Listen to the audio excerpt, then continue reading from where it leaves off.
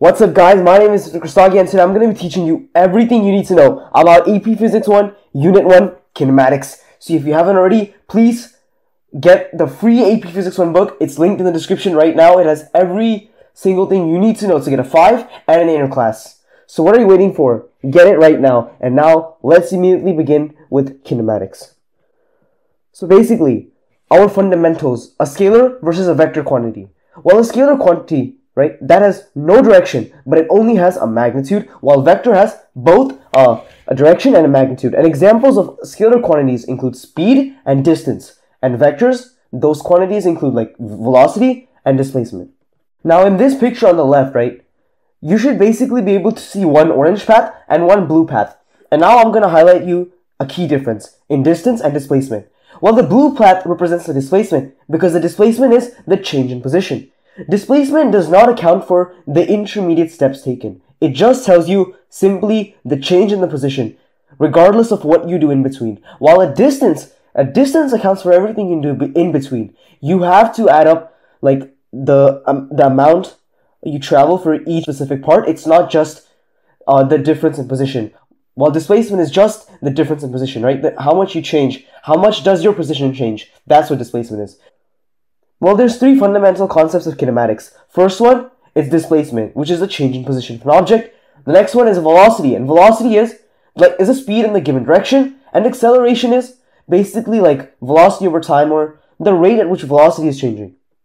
Well, let's learn about some basics of velocity. Well, if the acceleration is zero, then velocity is displacement over time. And basically t stands for time. That's how you present it. d or delta, right, which is the change of x, that represents displacement.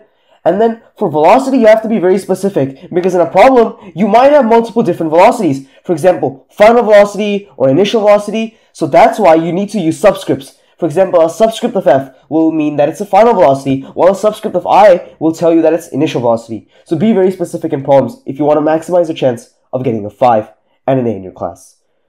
Well, acceleration is the rate at which velocity of an object changes, and it's denoted by a. And the average acceleration is simply the change in velocity over time. Now, average versus instantaneous rates. Well, average velocity is simply the displacement, right? Divided by time. While instantaneous velocity is velocity at a specific, a very specific instant of time. And this same relation applies to average acceleration versus instantaneous acceleration. For example, average acceleration is simply delta v over t, while instantaneous acceleration is the acceleration at a very specific point in time. Well, now it's time for the most important part of this unit, the kinematics equations. These four equations are true at constant acceleration. The first one is final velocity equals initial velocity plus acceleration times time. Second one is delta x, which is the displacement equals to initial velocity plus final velocity over 2, which is the same thing as the average velocity times time. And then the third one is displacement equals to initial velocity times time plus 1 half at squared. And then the fourth one is final velocity squared equals initial velocity squared plus 2 times acceleration times displacement. And basically, there's five variables that are used throughout all four of these equations. And if you know at least three of them, then you can solve for the rest using these equations. Now let's look at a sample free response question from the 1989 exam. Well, please pause the video and try this problem on your own. It's a very important problem.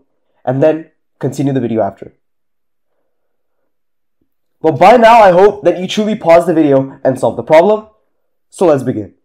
Well, part A wants us to find the constant acceleration during the first two seconds. So if you read the problem carefully, it says that there's a sprinter, right? It starts at rest, which means the initial velocity is zero. And then with constant acceleration, it covers 10 meters in two seconds. So let's think about the variables we have. We know the displacement, it's 10 meters. We know the time, 2 seconds and we know initial velocity is zero. And we want to find acceleration. So we use this equation that you see on the screen. Displacement equals initial velocity times time plus 1 half at squared. And now if you plug in our variables, we get, we can solve for acceleration and we can find that acceleration is 5 meters per second squared. Now part B says, what is the velocity after the first two seconds? Well, we know the initial velocity, we know acceleration, and we know time. So we use v final, which is final velocity equals initial velocity plus acceleration times time. We plug in 0 for initial velocity, We plug in 5 for acceleration and 2 for time. And we get that the final velocity is 10 meters per second. Now part C wants us to find the total time for the full 100 meters. Well, we know that for the first 10 meters, the sprinter takes 2 seconds. Now we need to find the time that the sprinter takes for the remaining 90 meters. Well, the problem says that the sprinter, right, after the first 10 meters, it moves with constant velocity after. So that means we need to find the velocity. What is this common constant velocity? Well, whatever the velocity the sprinter has after accelerating, which means after the first two seconds, that same velocity, the sprinter will continue moving at that exact same velocity. And we already know that that velocity is 10. And it covers 90 meters with that velocity. So we use the equation time equals to displacement over velocity. And we can find that the remaining 90 meters is covered in 9 seconds. So that means we add 2 to 9 seconds because 2 seconds for the first 10 meters and 9 seconds for the remaining 90 meters and we get 11 seconds. Now part D. Part D wants us to draw a position versus time graph. Well, for the first 2 seconds, the sprinter accelerates. So the position versus time graph will be a parabola for the first 2 seconds. But after the first 2 seconds, the velocity is constant. So then it becomes a linear line. It just increases linearly. Now, let's move on to 2D kinematics. Well, 2D kinematics is basically two 1D kinematics problems. So you're basically solving two problems at once.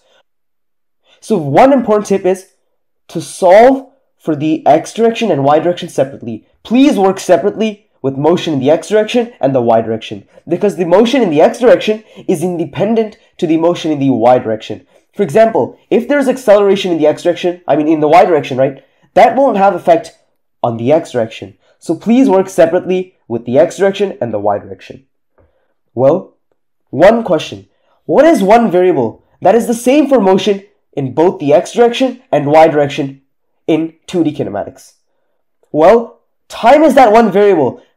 So that's why finding time can be extremely useful because that gives you information about both motion in the x direction and the y direction. Well, key facts about projectile motion. At the top of the projectile motion, the vertical velocity is zero. And then the horizontal velocity, on the other hand, remains constant for the entire motion. It's always the same. There is no acceleration in the x direction. And basically, a final walkthrough for 2D kinematics.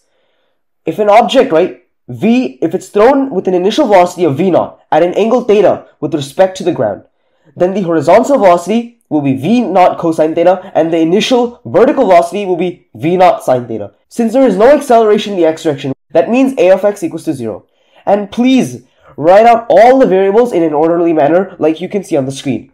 I wrote it all in an orderly manner and now if I want to solve a problem, it's going to be much simpler for me because the chances of me making an error is going to be lower because I have it all out, cleanly written out. Now let's look at a simple application of projectile motion. So basically in this diagram that you see there is a soccer ball that will be kicked off the table horizontally.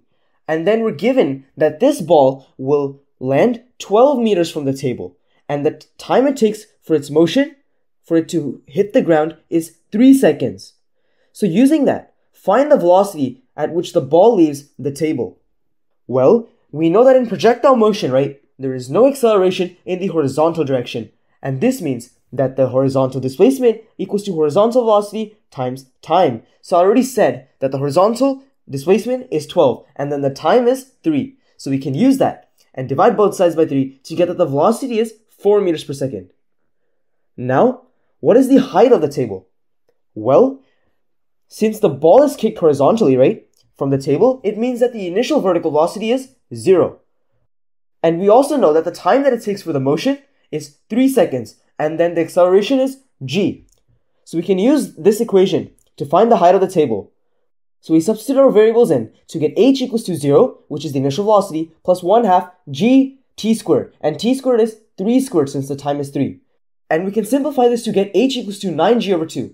And we use g equals to 10 as an approximation to get that the height is around 45 meters. Now thank you so much for watching this video. And please don't forget to like, share, and subscribe since that's going to tell me that you guys are truly enjoying and learning from the books and the videos that I've been making for you guys.